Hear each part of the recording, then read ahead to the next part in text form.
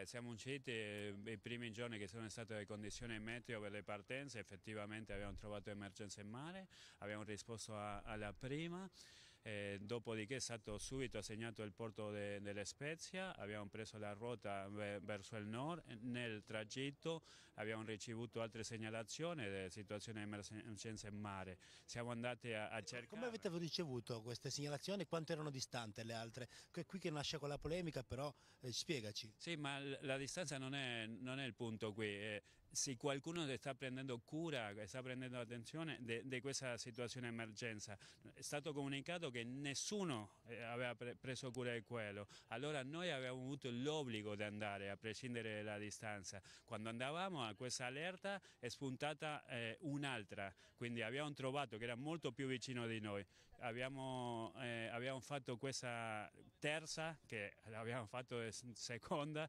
diciamo, e una volta finita questa situazione abbiamo continuato continuato a cercare quella segnalazione che avevamo ricevuto. L'abbiamo trovata un'altra volta, le autorità italiane ci hanno segnato il porto delle Spezia, abbiamo messo rotta verso il nord e ci siamo qui. Ecco, avere eh, una rotta così lontana, 100 ore di navigazione, è stato un problema grosso?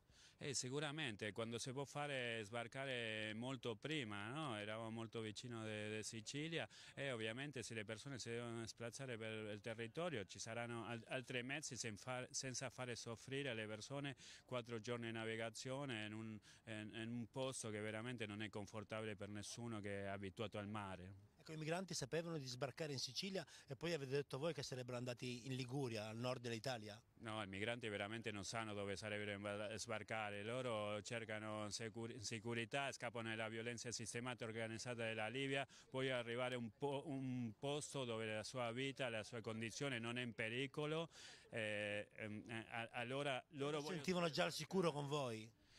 Mm, sì, ma non tanto, perché sempre c'hanno l'ansia, c'hanno questa cosa che hanno fatto questo tentativo di attraversare tante volte, intercettato tante storie, più di cinque volte per la Guardia Costiera Libica, riportate in questo centro di detenzione dove soffrono tutta questa violenza, allora finché non arrivano in porto non sono sicuri che eh, la sua situazione è, è, è al sicuro, no? allora sempre hanno una grande sfiducia e guardano il sole per vedere se stiamo andando verso il nord, verso il sud, eccetera, perché hanno una grande paura, solo adesso è il momento vero di sollievo.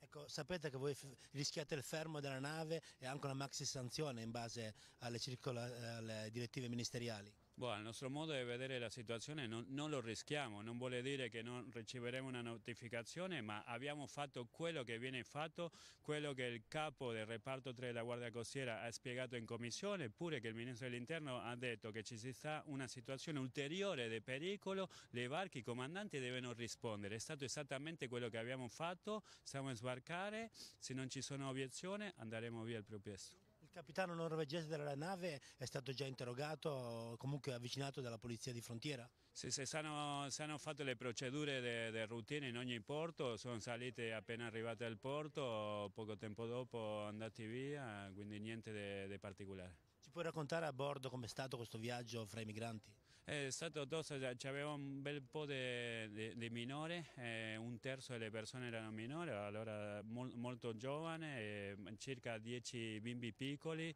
allora gestire queste persone in, un, in, una barca in un posto sicuro è sempre una sfida e parlando con loro tutte le situazioni di violenza che hanno subito hanno bisogno veramente di cura psicologica.